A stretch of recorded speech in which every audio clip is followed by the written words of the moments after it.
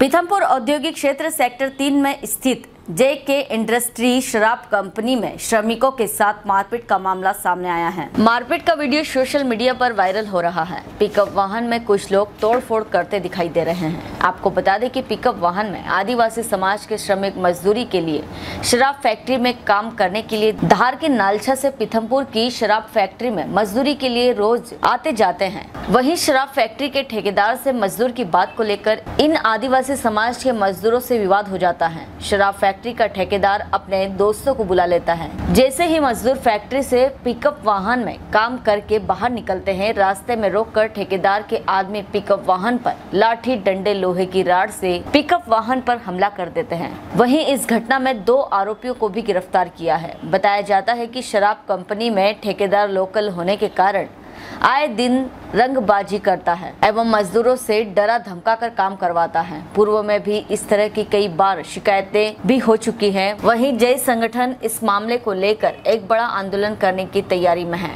पीथमपुर से संजय सोनगरा की report. Sir एक वीडियो सोशल मीडिया पर वायरल हुआ था मारपीट का। उसके बाद वीडियो की जाँच पर किस तरह की क्या कार्रवाई की गई सर?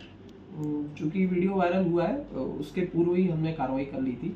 जेके कंपनी में दो ठेकेदारों के बीच में कुछ मामूली विवाद हुआ था। उसको लेकर बाहर जब एक व्यक्ति के साथ जो मजदूर आए थे, वो अपनी गाड़ी से जा रहे थे तो अन्य व्यक्ति के साथी वहाँ पर पहुँचे और उन्हें गाड़ी में तोड़फोड़ की, थोड़ी दहशत भी फैलाई, जिस पर से हमने कल फरियादी जो गाड़ी में बैठा था, जिसको चोट लगी है, वह गाड़ी मालिक है। उसकी तरफ़ से हमने मुकदमा दर्ज कर लिया था, चूँकि वो किसी को पहचानते नहीं थे, अज्ञात में हमने दर्ज किया। और उसमें वीडियो के आधार पे हमने एक की पहचान की है, चेतन जाट, जो सुलावड़ गाँव का रहने वाला है, जो गाड़ी में तोड़फोड़ करते हुए दिख रहा है, जिस पर से उसको हमने राउंड अप करके उसकी अरेस्टिंग की है, वह अन्य धारा एट्रोसिटी की भी उसमें हमने इजाफा किया है।